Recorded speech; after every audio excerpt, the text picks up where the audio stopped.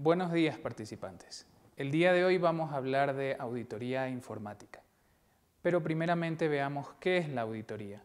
La auditoría es un proceso sistemático, independiente y documentado para recolectar evidencia de auditoría basada en hechos y luego comprobar si es que este proceso se realiza conforme ha sido documentado, diseñado e implementado en la entidad.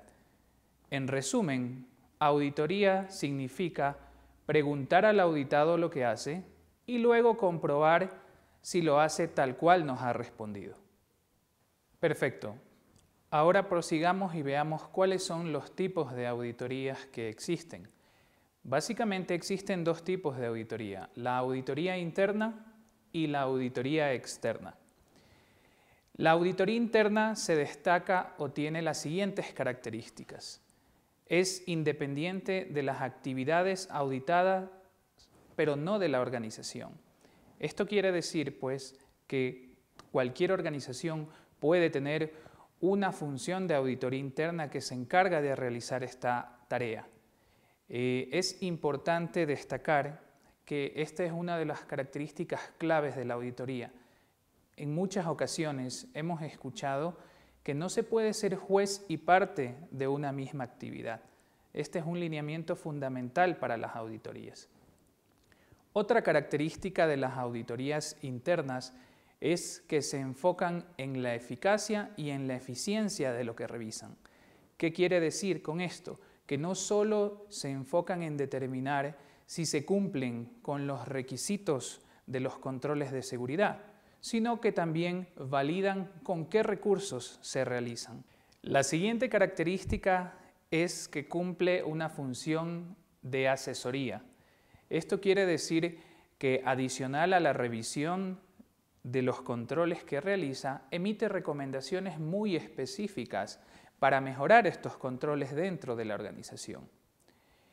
Y finalmente, otra de las características de la auditoría interna es que se realizan durante el curso de las operaciones de la organización.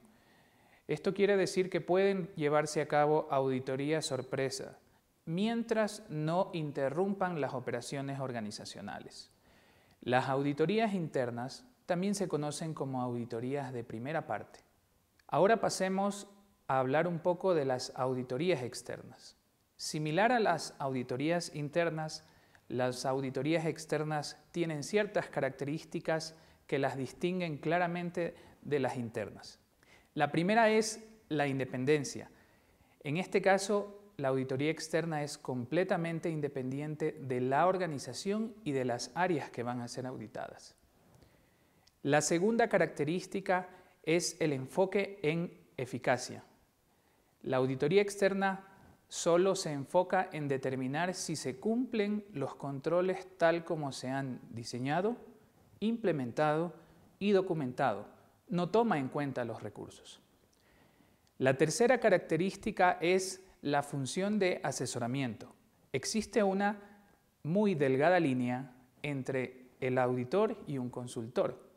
Un auditor enmarcado en una auditoría externa solo realiza recomendaciones generales, nunca específicas de cómo solucionar las observaciones o debilidades identificadas en el proceso.